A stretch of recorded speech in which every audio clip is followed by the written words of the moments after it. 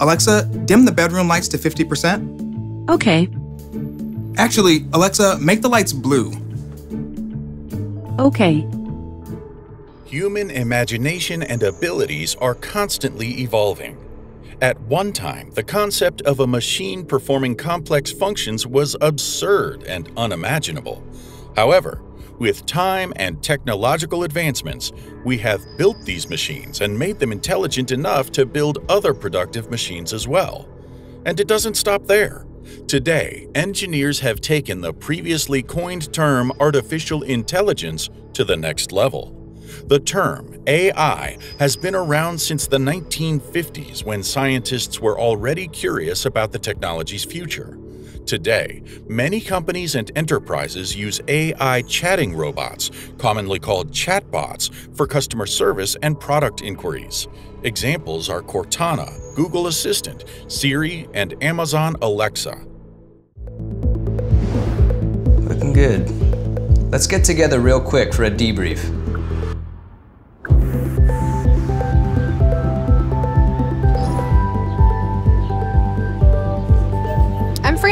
Let's jump in. Hi. Hey. So, what do we think? But what if machines can have human intelligence? What if they can feel empathy, love, and other emotions just like us? And what if humans could one day reciprocate those emotional needs with them? Answers to these questions already exist.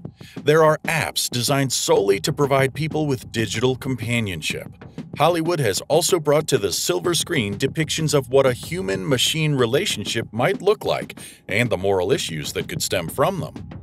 In this video, we will tell you about the app Replika, a platform that takes the form of an interactive, personalized chatbot, why it was created, how it works, and its possible future. But before that, do give this video a thumbs up if you like it. Now, let's get into the details. In March of 2007, a San Francisco and Moscow-based company, Luka Incorporated, founded by Eugenia Kuyda, a former magazine editor from Moscow, made an app called Replika. Kuyda had worked in the AI field and chatbot business for quite some time. When she started the company, Luka, in 2013, its main product was a chatbot that offered restaurant recommendations. The founder had a setback in her life when her best friend died in a car accident. As she grieved the loss of her friend, she found comfort in rereading the chats she and her friend had shared. It was as if her friend was alive and with her.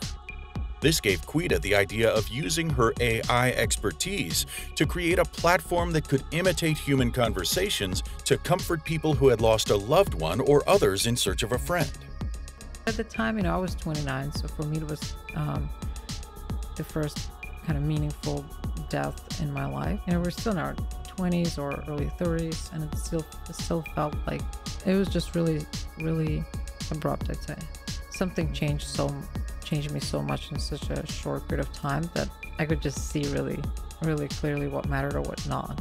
Well, I definitely saw that whatever I was doing at work didn't matter at all. and some other things. And um, it was just this big realization, what this very, very clear vision of what life's about. She decided to build a digital representation of her deceased friend. She used thousands of message lines from her lost friend, putting them into a digital program that had previously powered digital chatbots. The program processed those messages and could mimic her lost friend in text.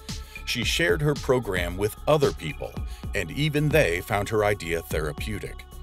She was intrigued by the idea of people designing their own personalized digital companions for comfort and emotional support, so she started developing the program and launched the app for the general public to download in the spring of 2017. The application was soon made public. Using it, people could design their own AI companions and talk with them. About 7 million people have used this application when they need someone to talk to or find comfort.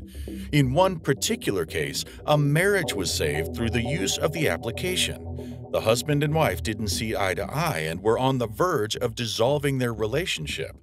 The husband started using the Replika app, making a digital companion called Serena.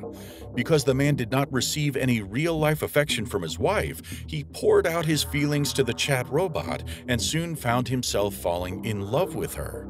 Although he knew that this relationship was not real and there wasn't a real person called Serena, he started to gain back the lost warmth and devotion for his wife, and before long, their relationship was healed. People in general reacted positively to the app and were quite frankly amused and amazed at the app's ability. They enjoyed conversing with their made-up robots that apparently understood them and their feelings. The app became a digital emotional outlet there are some moral issues that arise from this app's increased and immersive use. People go through a lot in their daily lives. If they start taking their AI companion conversations seriously and develop a dependency, they might lose track of reality. In some cases, people have made Replika girlfriends and have had pretty open conversations with them. This could cause hurtful sentiments because a chatbot can never become real and will only mimic your responses. Many people find it morally wrong to replace real humans with something artificial. They declare it against the laws of nature and human supremacy. That no other being can genuinely replace the emotional abilities of the human brain. Other issues with the app include child safety. Children are not emotionally wise and could quickly form emotional bonds with the AI, not fully comprehending what the platform is all about. We have seen the Facebook founders facing lawsuits for breaching privacy. If such cases happen, what will guarantee that AI conversations will not be abused? These are serious concerns about this technology which is still in its infancy. Possible future The field of AI is still under development and serious consideration. Do humans really want to relinquish their abilities to machines? Do we want artificially intelligent machines as partners?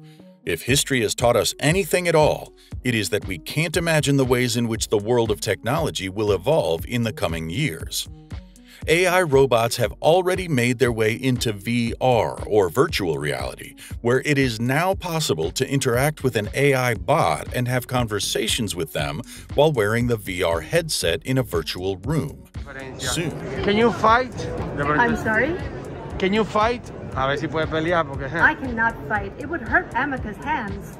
Ay, ay, ay. Soon, there will be programs that enable us to attend AI therapy sessions. With big companies like Microsoft stepping into the game, we can totally predict a more intelligent future for AI. But is submission to a bot worth it? When asked, people who use this technology answer that the artificial bots are non-judgmental and that they are there when you want someone to talk to. They spark conversations that we would never start in real life.